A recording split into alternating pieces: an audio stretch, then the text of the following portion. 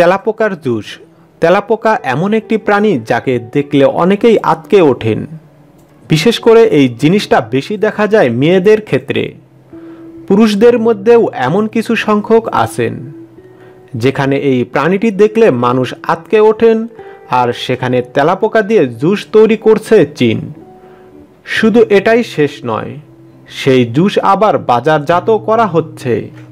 সূত্রে জানা যায়, চীনের সিজুয়াং প্রদেশের সিচাং অঞ্চলের একটি ফার্ম তেলাপোকার জুস উৎপাদন করে সেটি বাজারজাত করছে।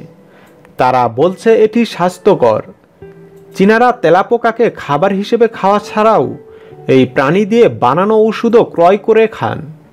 জানা গেছে, ওই ফার্মে প্রতি বছর গড়ে ছয়শো কোটি তেলাপোকা জন্ম নিচ্ছে। বিশেষ প্রযুক্তির সাহায্যে তেলাপোকা উৎপাদন করা, ওই ফার্মের আলোর পরিমাণ, আর্দ্রতা, খাবার সরবরাহের তথ্য বিশ্লেষণ করা হয়। আর এই ফার্মে চাষ করা তেলাপোকা থেকেই তৈরি করা হয় বিশেষ ঔষধ, ককরোচ জুস।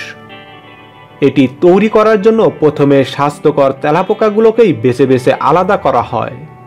এরপর তা ভালো করে পরিষ্কার করে সেগুলোকে একটি মেশিনে ঢোকানো হয়। এই মেশিনেই তেলাপোকাগুলোর পেস্ট বানানো হয়।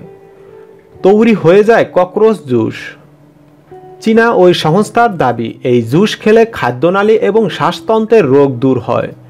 জুসের বোতলের গায়ে উপকরণের জায়গায় শুধু লেখা পেরিপ্লান্টা আমেরিকানা, তেলাপোকার বিজ্ঞানসম্মত নাম এটি।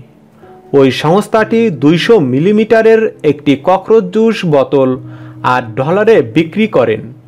বাংলাদেশি টাকায় যার মূল্য দাঁড়ায় ছয়শো তেষট্টি টাকা।